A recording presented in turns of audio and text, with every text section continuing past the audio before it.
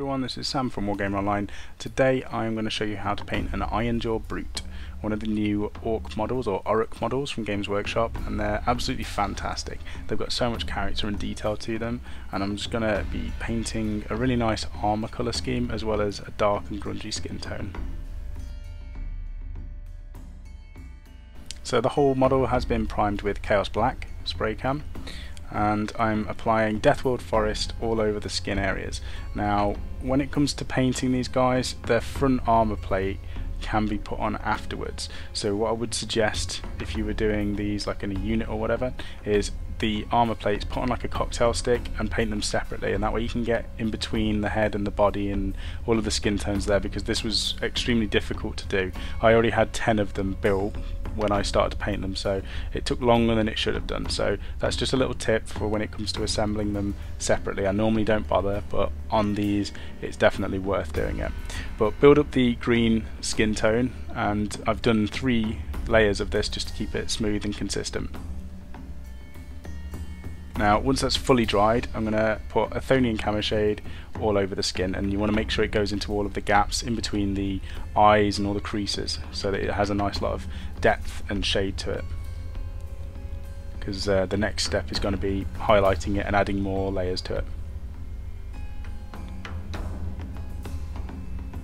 Okay, so once that's fully dried, you're going to need to wait at least an hour, an hour and a half, just to make sure it's done. We're going to apply Deathworld Forest now. Um, we're going to skip all of the recesses and keep the paint thin, and we're going to just pick out all of those raised areas. And Deathworld Forest is a really nice green. It's definitely one of my favourites, and th this was one of the test models for my own Ironjaw army, and I've stuck with the green because I absolutely love it. Can't go wrong. We're going to use Elysian green now in the same sort of way picking out all of the raised areas, so the, the top of the nose, on his eyebrows and the top of his ears. But we're leaving the Deathworld Forest in a lot of areas. He just wanted to pick out certain bits. But no, this, I mean, any excuse I get to use this green, I use it. I did it on some Death uh, Blight Kings. Blight Kings with this skin tone is great orcs, obviously their entire skin tone can be painted with this, so it's a good excuse to use the paint.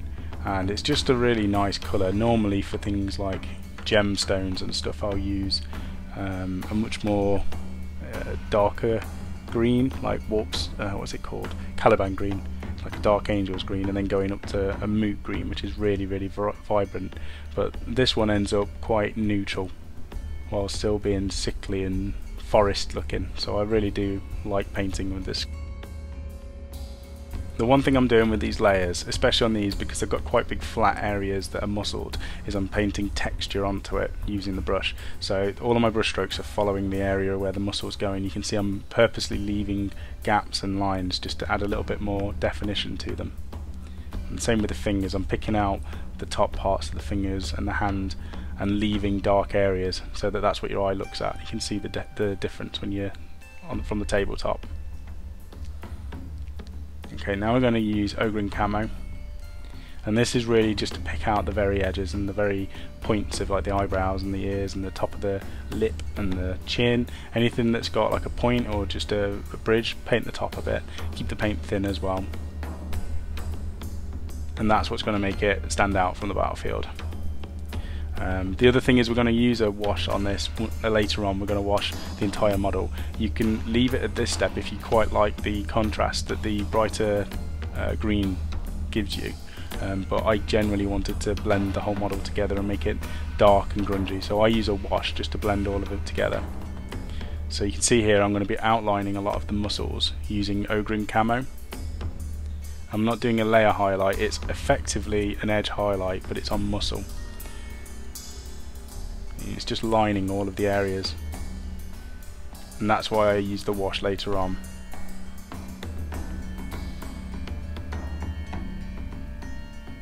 But if you look now at the elbow and the arm look at the back what it looks like now. As soon as you start putting these colours on they're quite stark and bright but they stand out and that's what you want it to do. Unless you're going for a crazy blending skin tone which will take you longer a lot longer to blend all of it but it will look nice. I'm just going for this because I like the textured look and the definition that you get from it.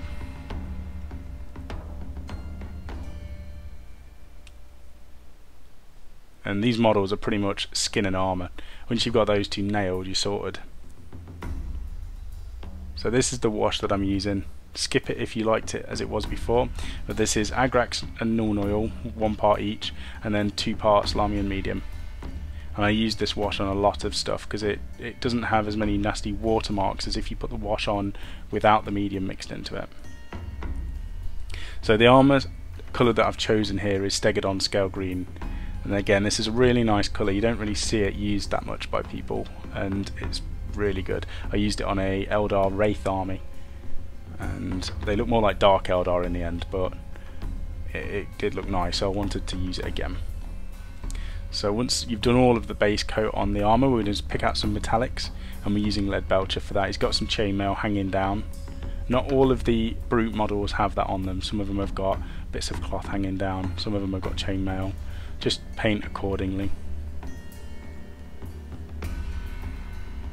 I'm going to add a little bit more of metallic, uh, well some more colours, so we're going to use Balthasar Gold and this is just to pick out some of the plates. You could pick out again a shoulder pad or you could do a wrist pad. These Ironjaws are pretty much just picking up scrap metal, smacking it into um, an like a plate of armor so that they can use it. So you can they could have all different colours and it will work. So I'm using Abaddon Black here. Um, you can imagine them like punching Stormcast Eternals and taking their armour and then going back and nailing it onto their own. And there are trophies that you can put on these guys which are like Stormcast helmets and things, so you can do what you want in terms of colours.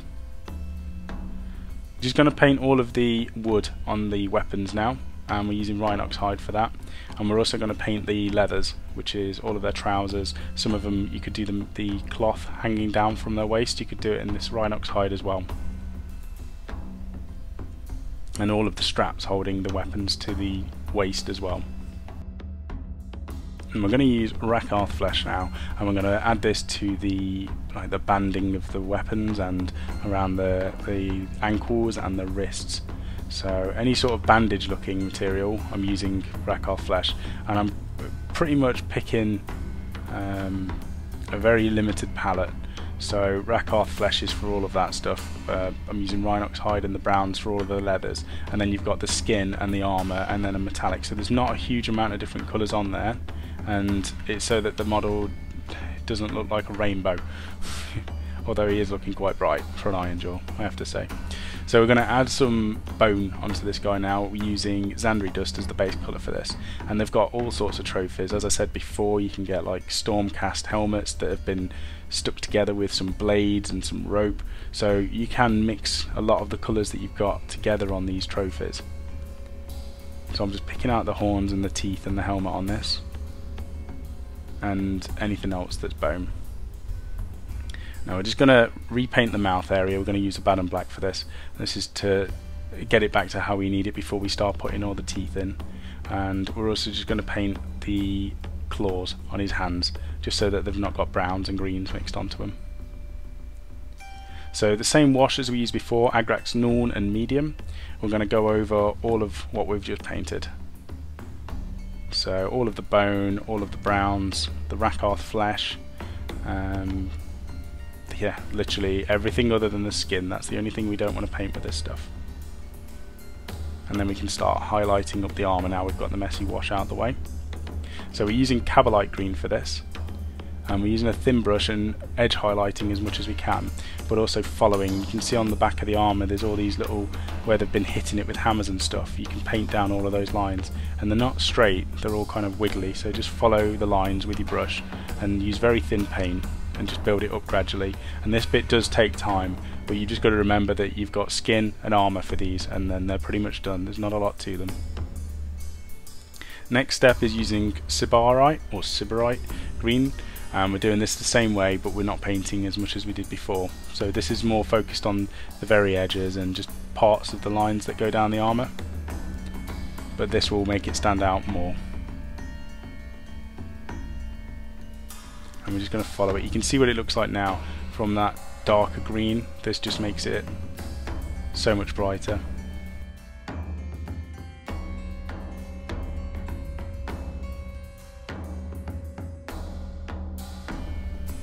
and it's a lot neater. You could dry brush this as well instead of using the small brush and going over each individual line. Dry brushing will be a lot quicker, but it wouldn't look as clean by the end of it.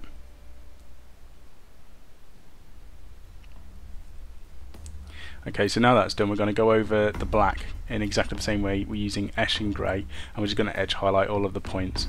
So any any areas that you painted with the black, just go over it now with this grey. Just going around the edge, and then picking out the lines in the middle. I've only done two little bits on this guy. But you could keep it themed, you know, these could be like Space Marines. You could have one shoulder pad in black and one in gold if you wanted. It's a little bit too organised for Ironjaws, but it's your army, you can do what you want. And then the final highlight for this black, uh, rather than using a brighter grey, I've just used Runefang steel, as if it's been chipping away. So you can add some, you can use some foam and stipple on some silver later on if you wanted to. I've done a few videos on weathering using foam, so you can have a look through the, the library of stuff and find out how to use that. It's quite easy, but it's good to do battle damage. We're going to use Runefang Steel as well, just to go over the gold. It's the same way, just an edge highlight.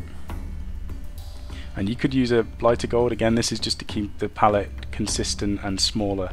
So we're going over all of the gold, doing that edge highlight with the same colour. Now the next step, the next stuff for us to do is the uh, we've got leathers and we've got the weapons, the hilts. So starting with Doombull Brown, just painting on some wood grain, and you just want to leave some of the Rhinox in the recesses. And we're going to pick out those areas with Tuskgor fur now, just very small, thin lines, and paint in the same direction that the the wooden stick is going, so that you can add texture and lines to where it looks, you know, correct. We're going to highlight the leathers now, we're going to use Gorthor Brown and we're going to go over all of the straps and the armour using this. And you're going to pretty much do a layer highlight here. You want to cover up most of it but just leave the very recesses. And if you've got trophies on their shoulders or bits of rope in the, the Rhinox hide, go over it with this now and just pick them out. Now the legs, we're going to use the same colour and you can see I'm just picking out raised areas here. I'm not doing a full layer highlight. I want the Rhinox hide to show underneath it. I'm going to use Baneblade Brown for the final highlight on all of the leather. So just go over everything we did before. And it's mainly picking out the edges here. And just giving some line texture. The legs on this guy and generally looks quite cartoony but I, I like the way that he looks with this not as realistic, but it's good. And then he's got these staples going down his legs, just like holding his leather you know, cloth together. So we're using Runefang for that, and we're going to pick out all of the little bolts that are on his armour using this as well. And you can see that they do pop from the rest of the armour. Just use a small brush and be as neat as you can, and just add a tiny bit of paint onto him. There's quite a lot, so it, it's uh, worth spotting them all and then we're on to highlighting the bandages or the straps around the model. We're using the same Rakarth flesh as we did for the base colour.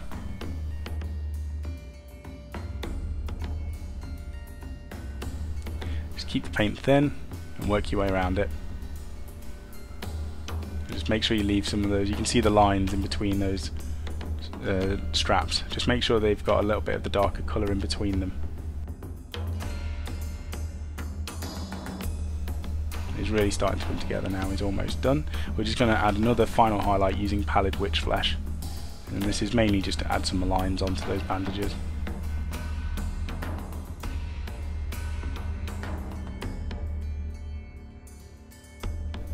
We're pretty much there, we've just got to do some of the bone. And we'll do the bone next, and then we'll go on to the blood effects. And then he just gets stuck on his base and he's ready to go.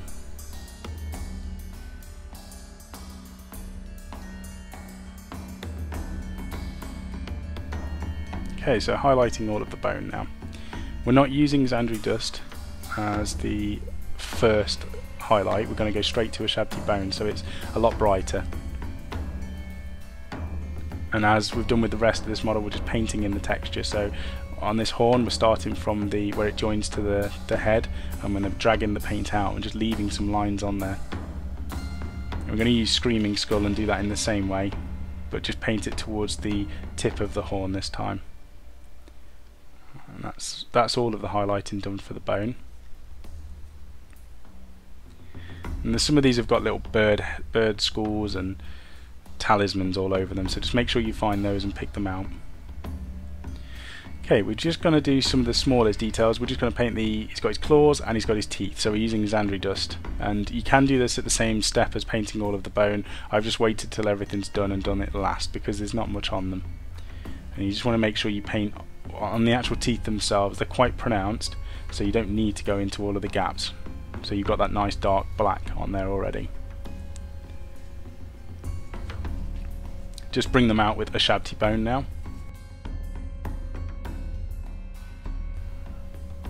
And you will need a small brush. This is probably the smallest detail on the model. The only thing smaller is their eyes. The, their eyes are absolutely tiny. I'll try and get some pictures up of the ones that I did for my army, but they've all got yellow eyes with black pupils on them, and they are definitely small. I think dwarves even have bigger eyes than these guys do. So we're just going to pick them out here with pallid Wych flesh, and I've not shown it, but I'm pooling bloodletter into it, which is a glaze, and that's the eyes done. Very straightforward. You can, like I say, pick out the pupils, but it's up to you.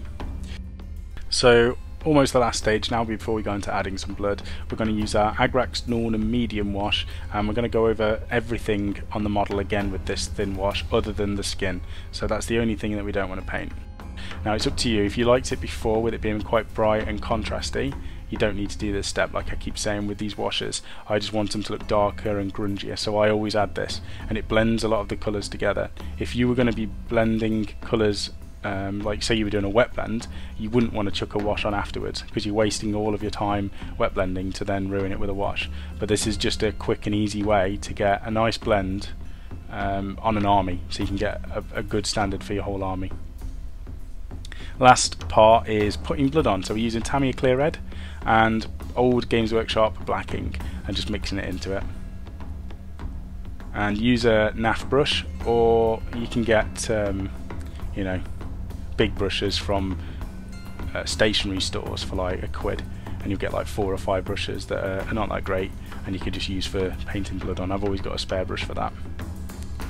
And just apply it. Um, I've got videos on painting blood effects but this is just the final part of the model.